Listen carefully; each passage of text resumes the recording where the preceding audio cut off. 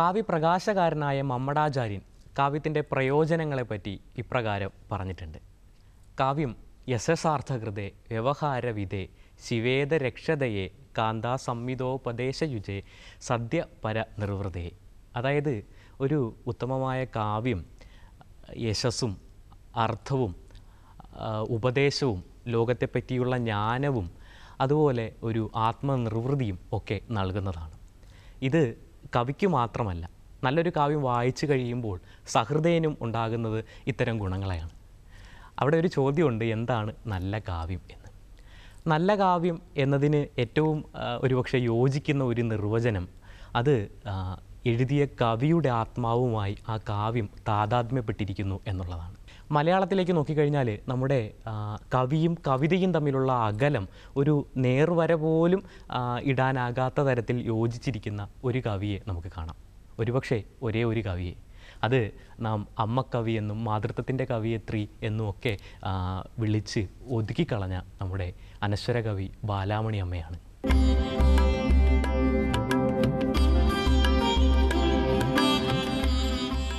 മലയാള കവിതാ സാഹിത്യ ചരിത്രം എഴുതിയ doctor M Leelavathi teacher. Balamani അമ്മയ്ക്ക് തുല്യമായ കാവ്യ ഔന്നിത്യമുള്ള സ്ത്രീ എഴുത്തുകാർ. ഇന്ത്യയിലെ തന്നെ നല്ല ലോകത്തിലെ തന്നെ ഭാഷയിൽ ഒരുപക്ഷെ കണ്ടെടുക്കാൻ ഇല്ലാതെ വരും എന്ന് സൂചിപ്പിക്കുന്നുണ്ട്. വാസ്തവത്തിൽ അതിന് കാരണമായിട്ട് ടീച്ചർ ചൂണ്ടിക്കാണിക്കുന്ന ഒരു കാര്യം എന്നത് ബാലാമണി അമ്മ കവിത എഴുതിയത് സാമാന്യം ചെറിയ ജനങ്ങൾ ഉള്ള അല്ലെങ്കിൽ വളരെ കുറച്ച് ജനങ്ങൾ മാത്രം സംസാരിക്കുന്ന ഒരു ഭാഷയിലായി പോയി എന്നതാണ്. ഒരുപക്ഷെ ലോകവ്യാപകമായൊരു ഭാഷയുള്ള നാട്ടിൽ ജനിച്ചിരുന്നെങ്കിൽ അവർ ലോകത്തിലെ തന്നെ അറിയപ്പെടുന്ന വളരെ പ്രധാനപ്പെട്ട ഒരു എഴുത്തുകാരിയായി മാറിയേനെ എന്ന് ഡോക്ടർ ലീലാവതി ടീച്ചർ ബാലാമണി അമ്മയുടെ കവിതാ ലോകങ്ങൾ എന്ന് പറയുന്ന പുസ്തകത്തിൽ ആ, കുറിക്കുന്നുണ്ട് കേരള ഭൂമിയുടെ സൃഷ്ടാവ് എന്ന ഐതിഹ്യ പ്രസിദ്ധിയോടുകൂടിയ കഥയിലെ പരശുരാമന്റെ ആത്മഭാഷണമാണ് മഴുവിന്റെ കഥ. എങ്കിലും ഇത് പരശുരാമന്റെ കഥ മാത്രമായി നമുക്ക് കാണാനാകില്ല. മറിച്ച് മനുഷ്യ മനസ്സിലെ ഹിംസാവാസനയുടെ ആകമാനമുള്ള ഒരു ആവിഷ്കാരം എന്ന നിലയിലാണ് മഴുവിന്റെ കഥ നിറഞ്ഞു നിൽക്കുന്നത്. പുരാണ പ്രസിദ്ധമായിട്ടുള്ള പരശുരാമന്റെ കഥ. സ്കന്ദപുരാണത്തിലും വിഷ്ണു പുരാണത്തിലും ഒക്കെ നാം കാണുന്ന പരശുരാമനിൽ നിന്നും ഈ മഴുവിന്റെ കഥയിലേക്ക് വരുമ്പോൾ അതിന് ചില മാറ്റങ്ങളുണ്ട്. അത് നമ്മൾ വഴിയെ പറയും. എങ്കിലും ആദ്യം തന്നെ ഈ കവിതയെ മനസ്സിലാക്കാനുള്ള ഒരു കാര്യം പരശുരാമന്റെ വ്യക്തിത്വത്തെ സംബന്ധിച്ച ഒരു നിരീക്ഷണമാണ്. കവിതയിൽ ഉടനീളം നാം കാണുന്ന പരശുരാമന്റെ വ്യക്തിത്വത്തെ മദ്യം പൊട്ടിയ കണ്ണാടിയോട് നമുക്ക് ഉപമിക്കാം. അതിന്റെ ഒരു ഭാഗത്ത് സാത്വിക ബ്രാഹ്മണനായ പരശുരാമന്റെ ദൃശ്യം. കണ്ണാടിയുടെ രണ്ടാമത്തെ ഖണ്ഡത്തിലാകട്ടെ ക്ഷാത്രവീര്യത്തോടെ ഉജ്ജ്വലമായ വീര്യത്തോടെ ജ്വലിക്കുന്ന പരശുരാമനും.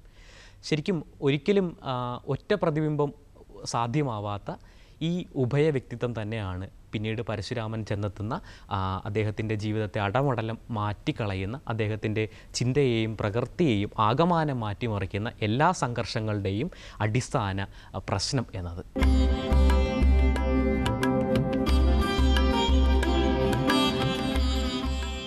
മുനിവര്യനായ ജമദഗ്നിയുടെയും ക്ഷത്രിയ വംശജയായ രേണുകയുടെയും അഞ്ചാമത്തെ മകനായി പിറന്ന പരശുരാമന് അദ്ദേഹത്തിന്റെ തപസിദ്ധി കൊണ്ട് ഭഗവാൻ മഹാദേവനിൽ നിന്നും കരകതമായതാണ് പ്രസിദ്ധമായ വെൺമഴു.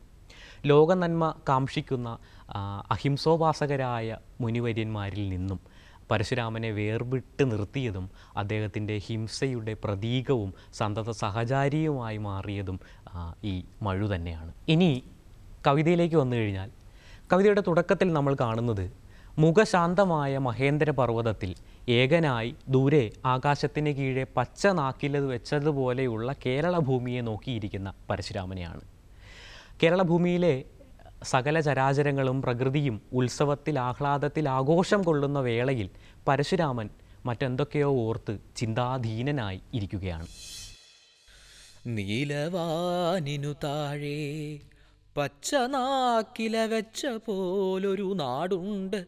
എൻ കണ്ണെപ്പോഴും ഓടും ദിക്കിൽ എന്നിച്ഛാക്രിയാജ്ഞാനശക്തികളൊരു കൂടി വന്നതാണെന്നാടൊരു മുനിപുത്രൻ തൻ സ്വപ്നം. അവിടെ പുതുനെല്ലും പൂക്കളും മണം വീശും. അവിടെ പ്രകൃതി എന്നുത്സവമൊരുക്കുന്നു. അവിടെ കളിവില്ലിന്നൊച്ചയും പാട്ടും പൊങ്ങും. അവിടെ ജനങ്ങളിന്നുത്സവം കൊണ്ടാടുന്നു. ആ ഇരിപ്പ് ആ ചിരഞ്ജീവിയെ കൂട്ടിക്കൊണ്ടുപോകുന്നത് യുഗാരംഭം മുതലുള്ള ഓർമ്മകളിലേക്കാണ്. സ്വച്ഛവും സമാധാനവുമായി കഴിഞ്ഞിരുന്ന ബാല്യകാലത്ത് അമ്മയുടെ മുലപ്പാലിനൊപ്പം ഉൾനാമ്പിൽ ഉറച്ച അമ്മയുടെ ക്ഷാത്ര സംസ്കാരത്തെക്കാളും അദ്ദേഹം കൂടുതൽ ആരാധിച്ചിരുന്നത് അച്ഛന്റെ ആർഷ സംസ്കാരത്തെ ആയിരുന്നു ശരിക്കും അവിടെ തന്നെയാണ് നമുക്ക് പരശുരാമന്റെ പാപഭാരത്തിന്റെ കേന്ദ്ര ബിന്ദു അല്ലെങ്കിൽ ആദ്യ ബിന്ദു കാണുവാൻ സാധിക്കുന്നത്. അച്ഛന്റെ വാക്ക് മറുവാക്കില്ലാതെ അനുസരിച്ചപ്പോൾ നഷ്ടമായത് അമ്മയുടെ ജീവനായിരുന്നു. വനത്തിൽ ഗന്ധർവർ അവരുടെ ജീവിതോല്ലാസം രതിക്രീഡകൾ ഏർപ്പെടുന്നത് കാണുന്ന രേണുക തനിക്ക് ലഭിക്കാതെ പോയ ജീവിത ഭാഗ്യങ്ങളെപ്പറ്റി ഒരു വേള ഒന്ന് ചിന്തിച്ചിരിക്കണം. മനസ്സാൽ പാപം ചെയ്തു എന്ന കുറ്റത്തിന് ജമദഗ്നി സ്വന്തം മക്കളോട് ആജ്ഞാപിക്കുകയാണ് കൊല്ലുകി പതിതയെ എന്ന്. മറ്റ് സഹോദരങ്ങൾ മാറി നിൽക്കുമ്പോൾ പരശുരാമൻ മുന്നോട്ട് വരുന്നു. അദ്ദേഹത്തിന്റെ മഴു വായുവിൽ ഉയർന്നു പോകുന്നു അമ്മയുടെ ശിരസ് താഴെ വീഴുന്നു. അമ്മ തൻ ഋജുക്ഷാത്ര സംസ്കാരമുൾക്കൊണ്ട ഞാൻ ബ്രഹ്മർഷി പ്രവരനാ അച്ഛനെ ആരാധിച്ചേൻ. ശീതളാശ്രമദ്രുമത്തണലിൽ ധ്യാനം കൊൾകേ. ഭൂതലമെനിക്കൊരു തൂനിഴലായേ തോന്നി. മധുമാസത്തിൽ കുയിൽ കൂകുന്ന കാന്താരത്തിൽ മലർപൂത്തഴും ആറ്റുവക്കത്തു നിന്നെന്നമ്മ കുളിർക്കെ നോക്കി കണ്ടാൾ പ്രേമലോലരായി. നീന്തിക്കുളിക്കും ഗന്ധർവർ തൻ ജീവിതോത്സവത്തിനെ. നടുവീർപ്പിട്ടാളെന്നും കൈവരാത്തവയ്ക്കായി പിടയും കരളുമായി പിന്നെ ആശ്രമം പുക്കാൾ. കോൾമയിരടിമയും തിളങ്ങും കവിൾ കൂമ്പുമായി മടങ്ങുമായുവതാപസി തന്നെ കാൺകേ നിനച്ചാൻ നീതിസ്ഥിരൻ ക്രാന്തതൃക്കാമെന്നച്ഛൻ മനസ്സാൽ ചെയ്യപ്പെട്ട പാപമേ ഗുരുതരം. മനസ്സാൽ ചെയ്യപ്പെട്ട പാപമേ ഗുരുതരം. അലക്ഷ്യവത്മാവൃഷി മക്കളോടരുൾ ചെയ്തു കുലത്തിൻ വിശുദ്ധിക്കായി കൊല്ലുകി പതിതയെ കുലത്തിൻ വിശുദ്ധിക്കായി കൊല്ലുകി പതിതയെ സ്നേഹചോദിതരായ സോദരർ പിന്മാറിനാർ. ഏകനായി മുന്നോട്ടേറി ഞാൻ മാത്രം പിതൃപ്രിയൻ. ദൈവദത്തമാമെന്റെ വെൺമഴു പൊങ്ങി വീണു ഭൂവിലമ്മ തൻ ശിരസ് ആമുഖം സൗമ്യോദാരം. മൂർത്തമാം വിനയം പോലിരുന്നോരുടൽ എന്നും പാർത്ഥിവ സുഖങ്ങൾക്കായി കേണൊരാ ചുടുരക്തം. മൂർത്തമാം വിനയം പോലിരുന്നോരുടൽ എന്നും പാർത്ഥിവ സുഖങ്ങൾക്കായി കേണൊരാ ചുടുരക്തം. നേർത്തൊരമ്പരപ്പശ്രുവൂറുമാവിരി കണ്ണിൽ പാർത്തു ഞാനൊരു യജ്ഞ പശുവിന്റെതിൽ പോലെ. നേർത്തൊരമ്പരപ്പശ്രുവൂറുമാവിരി കണ്ണിൽ പാർത്തു ഞാനൊരു യജ്ഞ പശുവിന്റേതിൽ പോലെ. മനസ്സിനെ ആകമാനമാളിയ തീ അണയ്ക്കുവാനുള്ള യജ്ഞതീർത്ഥം തേടി അദ്ദേഹം ഭാരത ഭൂഖണ്ഡമാകമാനം അലയുന്നുണ്ട്. ആ അലച്ചിലിൽ ശമവ്രതരായ മുനിമാരെയും എന്തിനേയും എതിർത്ത് നിൽക്കുന്ന ക്ഷത്രിയരെയും അദ്ദേഹം കാണുന്നുണ്ട്. ഇവിടെ രസകരമായ ഒരു വരി ബാലാമണി അമ്മ എഴുതുന്നുണ്ട്. അത് അവരജ്ഞേയത്തെ പ്രജ്ഞയാലെന്ന് തുടങ്ങുന്ന വരിയാണ്. ശരിക്കും അറിയാൻ കഴിയാത്തതിനെയാണ് ഈ ആത്മാന്വേഷകരായ തന്റെ വംശക്കാർ തിരയുന്നത് എന്ന് പരശുരാമൻ പറയുന്നു. ഇതിന് സമാനമായ ഇംഗ്ലീഷിലൊരു ചൊല്ലുണ്ട്. ഈ ഇരുട്ടുപൂച്ചയെ തിരയുന്ന ആത്മീയ അന്വേഷകരെ പറ്റി. അതിങ്ങനെയാണ് blind man searching for a black cat in a dark room where there is no cat ആയിരം തീർത്ഥങ്ങളും അമ്പലങ്ങളും പവിത്രാശ്രമങ്ങളുമുള്ള ഭാരത ഭൂഖണ്ഡത്തിലലഞ്ഞേൻ നീണാൾ ചുറ്റിത്തിരിഞ്ഞേൻ. പാപത്തിന്റെ ശിലയുൾക്കാമ്പിൽ തോളിൽ കനത്ത മഴുവുമായി മഞ്ഞിനാലുള്ളും വെയ്യും തരിക്കും മലകളിൽ. മന്ത്രമാം സിംഹാരവം മുഴങ്ങും വനങ്ങളിൽ. ഇരമ്പിക്കവിഞ്ഞേന്തും കടലിൻ തീരങ്ങളിൽ. നിരക്കെ കണ്ടേൻ ശമവ്രതരൻ വംശക്കാരെ. ധ്യാനലീനരായി ദൈവകീർത്തനം പാടുന്നോരായി. മൗനനിഷ്ഠരായി തപശുഷ്കരായി പലമട്ടിൽ അവരജ്ഞേയത്തിനെ പ്രജ്ഞയാൽ തപ്പിത്തപ്പി അതിതല്ലിതല്ലെന്ന് നിർവചിച്ചിരിക്കവേ. കിലുങ്ങും പടക്കോപ്പും തിളങ്ങുമുടുപ്പുമായി ചലിച്ചു ദേശം തോറും ക്ഷത്രിയ സമൂഹങ്ങൾ. എതിർനിന്നതാമെന്തും തകർത്തും നശിപ്പിച്ചും കൊതി തോന്നിയതെന്തും കൊള്ളയിട്ടാനന്ദിച്ചും. മന്ത്രിച്ചു മമാത്മാവിൽ മന്ത്രിച്ചു മമാത്മാവിൽ മാതൃഹന്താവിൻ മഴു പൊന്താത്തതെന്തീ സുഖോന്മത്തർ തൻ നേർക്കെന്നാരോ. മന്ത്രിച്ചു മമാത്മാവിൽ മാതൃഹന്താവിൻ മഴു പൊന്താത്തതെന്തീ സുഖോന്മത്തർ തൻ നേർക്കെന്നാരോ.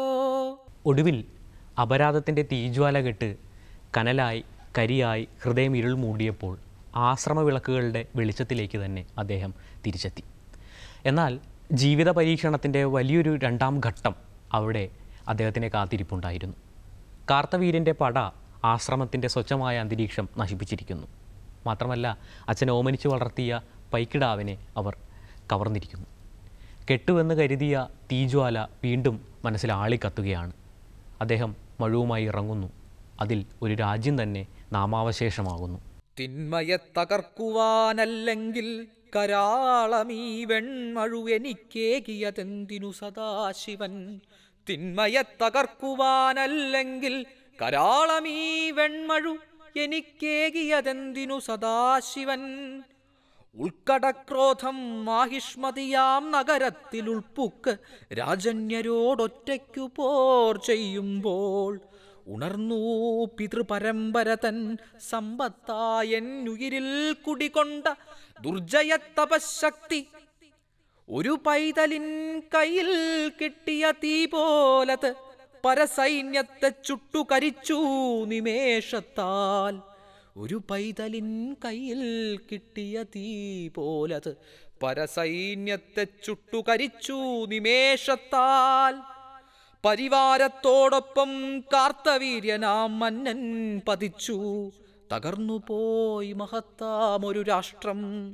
തുളസി പടർപ്പാളും ആശ്രമമുറ്റത്തേക്ക് ആ തുടുത്ത മഴുവുമായി പിന്നെ ഞാൻ കടന്നപ്പോൾ അച്ഛനിലൂടെ ശശ്വത് ബ്രാഹ്മണ ധർമ്മത്തിന്റെ ഒച്ച കേൾക്കായി കൊടും പാപമേറ്റു നീ പാവം തുച്ഛമാം പകപോക്കാൻ യോഗികളിട്ടം കൂട്ടിവച്ച മാനസശക്തി പാഴാക്കിയല്ലോ കുഞ്ഞേ.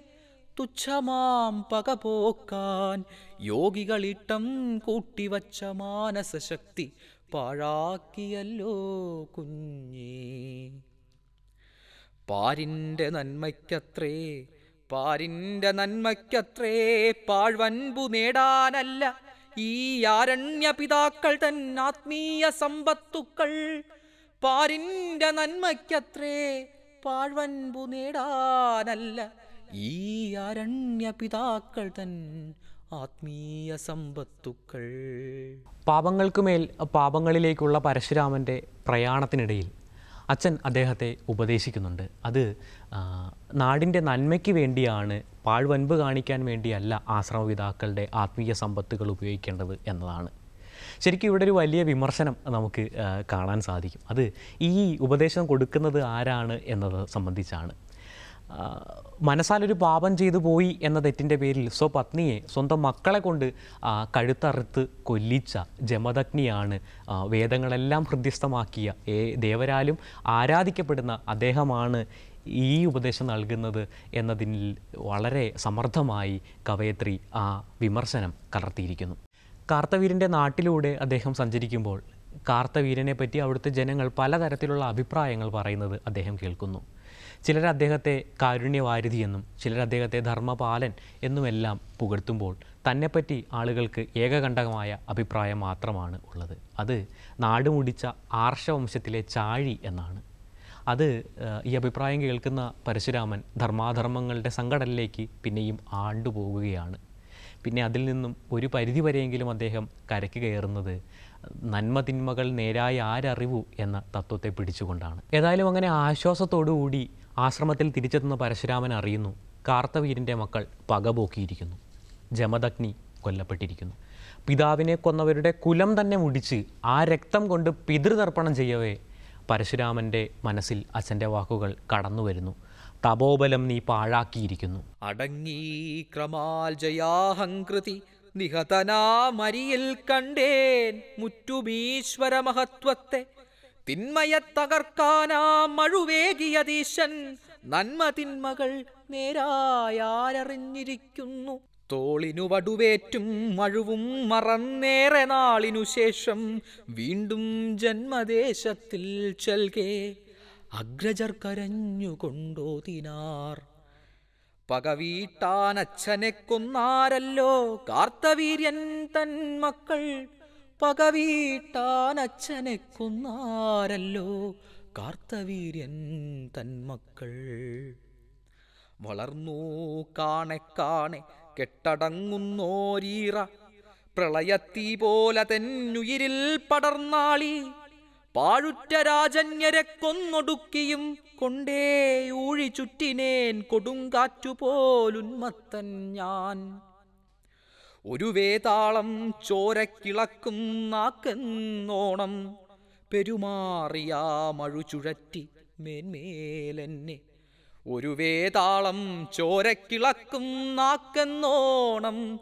പെരുമാറിയാ മഴു ചുഴറ്റി മേന്മേലെന്നെ. ക്ഷത്രിയ കുലം മുടിച്ച് അവർ തൻ നിണം നുരകുത്തിയ പുഴവക്കിൽ പിതൃതർപ്പണം ചെയ്യേ അത്രയും വൈകി കഷ്ടം ഉള്ളിൽ വന്നുദിക്കയായി തത്വവിത്തമനാകും താതൻ തന്നുപദേശം.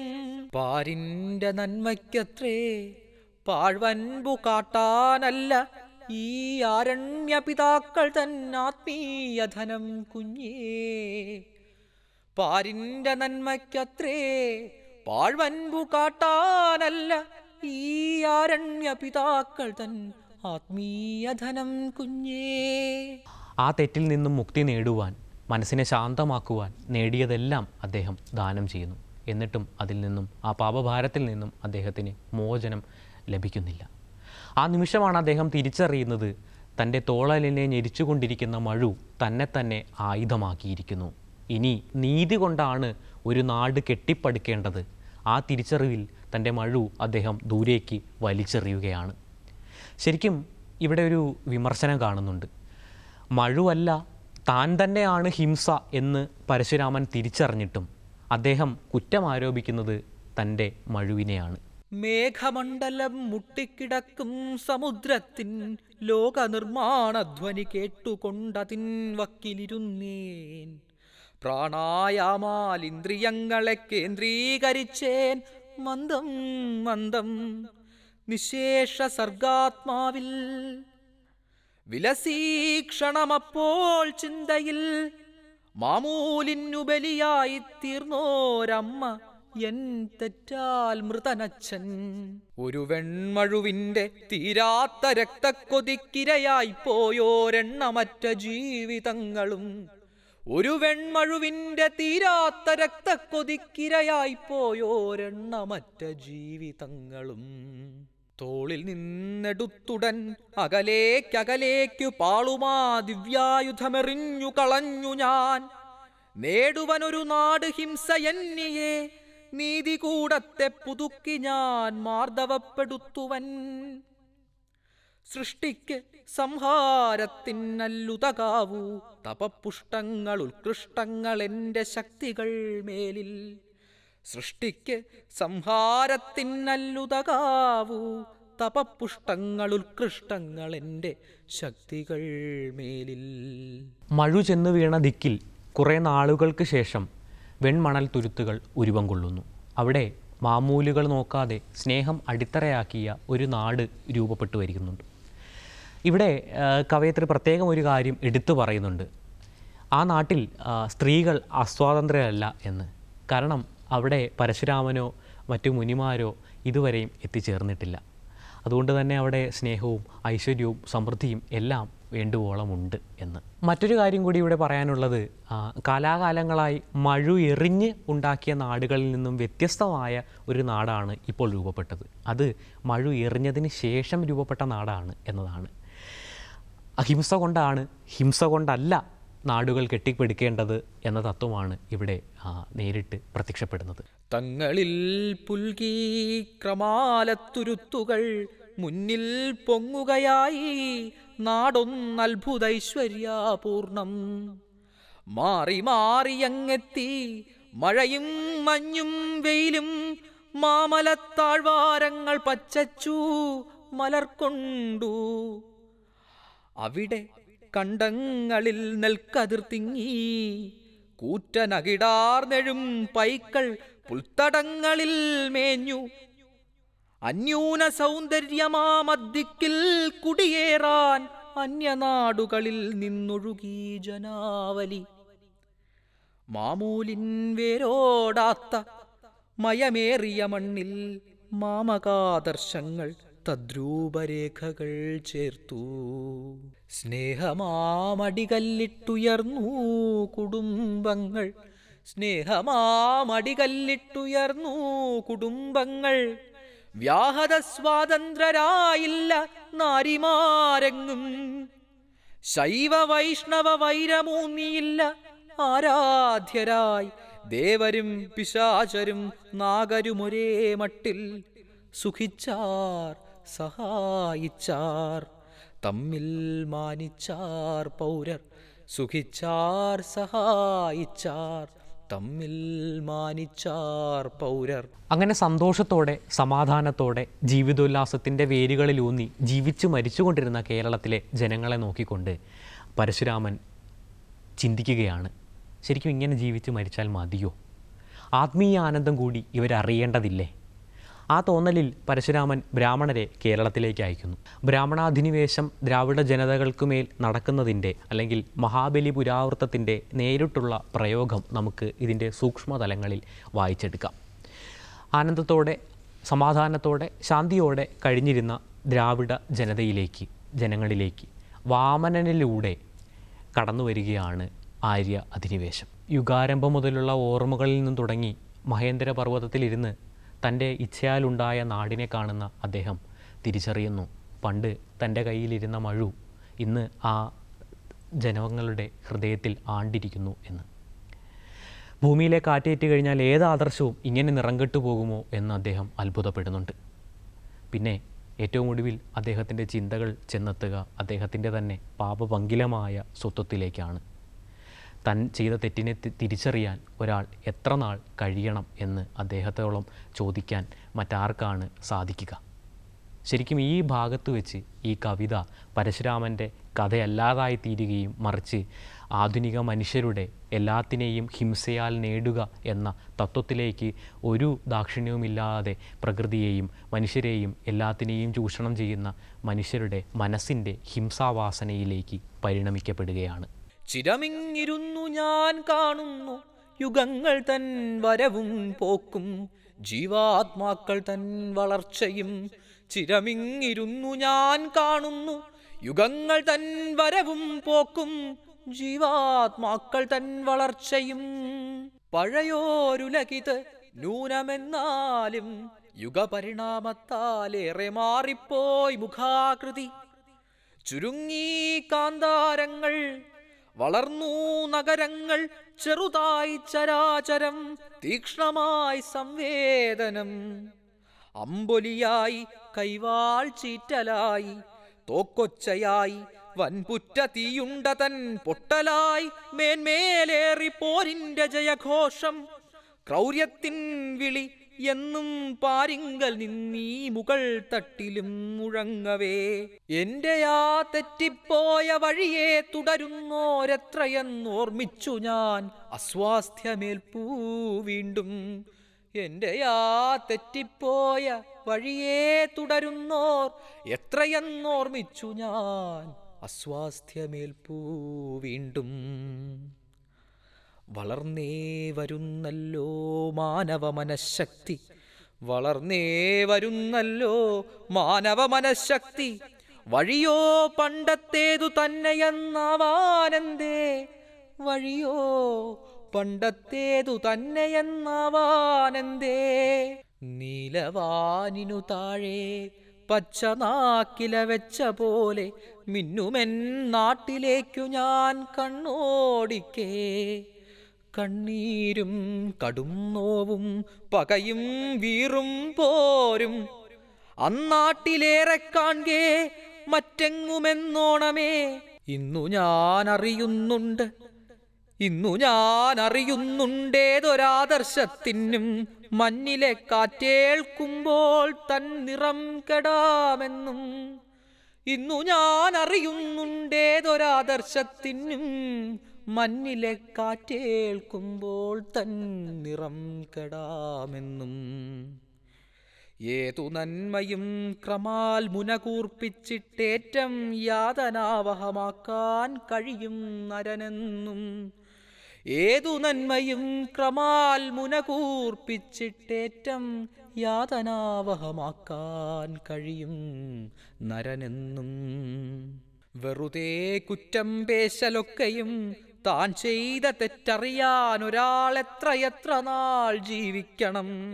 നനയും കണ്ണാലത്രേ നോക്കുന്നു ഞാൻ എൻ മഴുമുനയാൽ കരൾ തോറും മുദ്രിതരൻ നാട്ടാരെ ഉഗ്രകോപരെ അസംതൃപ്തരെ സുധീരരെ ഉൾക്കടോദ്വേഗങ്ങൾ തൻ തൊട്ടിലാടുന്നോരെ ഓർത്തുപോകുന്നേൻ ഓർത്തുപോകുന്നേൻ പിഴയതിലും പറ്റി ബ്രാഹ്മക്ഷാത്രശക്തികൾ ചേർന്നാല സ്വാസ്ഥ്യമല്ലാതുണ്ടോ ഓർത്തുപോകുന്നേൻ പിഴയതിലും പറ്റി ബ്രാഹ്മക്ഷാത്രശക്തികൾ ചേർന്നാൽ അസ്വാസ്ഥ്യമല്ലാതുണ്ടോ? ഇങ്ങനെയൊക്കെ ആണെങ്കിലും കവിതയുടെ അവസാനത്തിൽ കേരളനാട് ചമയുന്നതും ആഘോഷപൂർവം കൊണ്ടാടുന്നതും നോക്കി ആശ്വാസം കൊള്ളുന്നുണ്ട് പരശുരാമൻ. ആ ജനങ്ങൾ ഒരിക്കലും തന്നെയല്ല സ്മരിക്കുന്നത് എന്ന് അദ്ദേഹത്തിന് അറിയാം മറിച്ച് തലയിൽ ചവിട്ടിയ കാലിൽ പോലും ഈശനെ കണ്ട ദീനദയാലുവായ കൊടുത്ത വാക്കിന് മറ്റെന്തിനേക്കാളും വിലയുണ്ട് എന്ന് സ്വജീവിതം കൊണ്ട് കാണിച്ചു തന്ന ആ അസുര രാജാവിനെ മഹാബലിയെ ഓർത്ത് ഓണം ആഘോഷിക്കുകയാണ് അവിടുത്തെ ജനങ്ങൾ. എങ്കിലും ആശ്വാസമുണ്ട്. എൻ നാടിച്ചമയുന്നത്. എൻ പൗരർ മോദിപ്പത് ഇസ്സാഹസികനായല്ല എങ്കിലും ആശ്വാസമുണ്ട് എന്നാടിച്ചമയുന്നത്. എൻ പൗരർ മോദിപ്പത് ഇസ്സാഹസികനായല്ല മുറ്റുമീറയാൽ ചെയ്ത തെറ്റുകൾ എണ്ണി ശാന്തിയറ്റു നാൾ പോക്കുന്നൊരിപ്പടയാളിക്കായല്ല. തലയിൽ ചവിട്ടുന്ന കാലിൽ ഈശനെ കണ്ട ബലവദ്വിനയത്തിൻ സൗമ്യമൂർത്തിക്കായല്ലോ. തലയിൽ ചവിട്ടുന്ന കാലിൽ ഈശനെ കണ്ട ബലവദ്വിനയത്തിൻ സൗമ്യമൂർത്തിക്കായല്ലോ. ഓണം പോയ കാലത്തിന്റെ വിശുദ്ധിയും നന്മയും മാത്രമല്ല പ്രതിരോധത്തിന്റെയും കൂടി ഉത്സവമാകുന്നത് ഇങ്ങനെയാണ്. എല്ലാ പ്രിയ പ്രേക്ഷകർക്കും ദൂരദർശന്റെ ഓണാശംസകൾ. വന്ദനം വന്ദനം. പാർമെത്തും ദ്രാവിഡ നന്ദിനിയായി വളർന്ന ഭാഷേ. വന്ദനം വന്ദനം ചിത്തം കവർന്നിടും. ചന്ദനാമോദം കലർന്ന ഭാഷേ.